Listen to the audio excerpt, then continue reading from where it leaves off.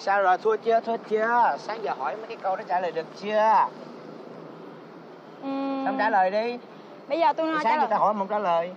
Bây giờ tôi phải nói trả lời thử có biết hay không chứ. Bây giờ tôi Cái trả lời không biết mà em em nãy người ta muốn trả lời mà có nhảy với mày người ta không mà sao mà trả lời? Bây giờ tôi trả lời nè. bà trả lời sao tôi đâu nói bà gì đâu. Đi về luôn. nói đi nói đi nói đi không nói nữa. Đối lại đi. Đó một lần cuối cùng cho nghe, nghe kỹ nghe chưa?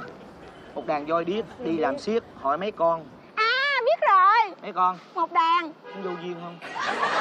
Hỏi một đàn trả lời một đàn, giờ hỏi làm gì? vậy mấy con? Thì vô vô duyên tôi, đang hỏi cái bà hỏi người tôi à? Trả lời đi. để suy nghĩ cái đã. Thua đó. Trời ơi, suy nghĩ cho hồi là thua, tưởng gì? Thua phải không? Giờ giải thích nha, rồi khi mà cái lỗ tai mình nghe không được ta gọi là gì? bị điếc. Vậy điếc là sao? là hư tai. Nói ngược, hai tư. Vậy thôi.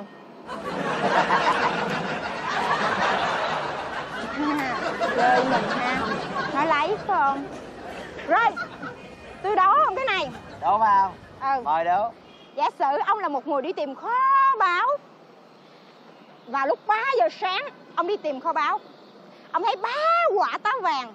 3 giờ chiều ông quay về ông đi ngang một cái ngã ba. Ông thấy ba cái cầu. Ông đi ngang cái cầu thứ ba. Ông đi ba bước. Ông té. Ừ.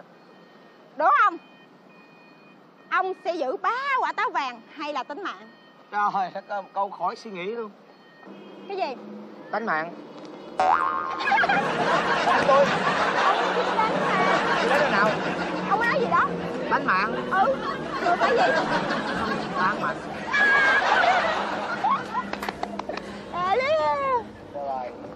mấy người là chỉ có biết dùng một cái thủ đoạn này để mà hại những cái bạn trai mà nhẹ dạ cả tin như tụi tôi thôi.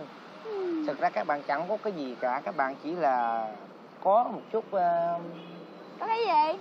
có ờ, có cái gì? Ây da, tôi thấy mới nói gì đó, thì tôi nói có cái gì? Nói ngược. cái cái gì Thôi, không cãi nhau nữa Hoài nha hồi nãy tôi tán ông ông ký quề thôi nha. Ừ thôi, thôi nha. Ừ thôi đi. Cái gì vậy? ông kêu tôi thôi ông mà. Thôi là khá lắm, khá lắm người khá. yeah chiến thắng ông rồi.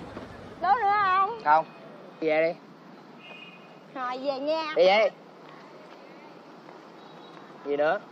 Tôi đố ông một câu cuối cùng. Đi về. Một câu cuối thôi. Không đố đi hại tôi nữa hả? Biết câu này dễ lắm. Không có dễ gì hết trong cuộc đời của ông ông dám đánh ba ông không?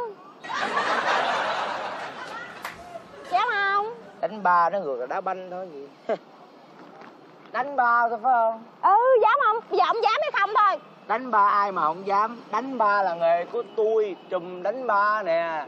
Trong trường này không ai đánh ba bằng tôi hết trơn á tôi nói thiệt á. Bây giờ đâu? Ba đâu? Đánh liền. Ba nè con đánh đi con. Ba nè ba đi rước con mà con nghe cũng nhiều chuyện con rồi đánh ba. Mày biết tôi đứng ngoài cổng tôi chờ mày từ nãy giờ không? Dạ không. Giờ mới biết. Nãy giờ tụi bay làm gì vậy? Dạ đâu có đâu, nãy giờ tôi có nói lái chứ đâu dám nói đánh ba đâu. Tại vì nãy giờ bạn này chơi nói lái, nói đánh ba có nghĩa là đố con là đá banh á. À vậy hả? Dạ, cái từ ngữ việt nam nó phong phú lắm. Dạ. nói năng phải đàng hoàng đừng bày đặt nói lái nghe không? Dạ con biết rồi. Thôi được rồi về đi con để ờ, rồi con lên đi ờ, ba chở về ba cho con ờ, uống cái này nè. Ủa, uống gì vậy ba? Rau má. Ba tôi mua rau má cho tôi uống. Là tao quýnh mày ra máu á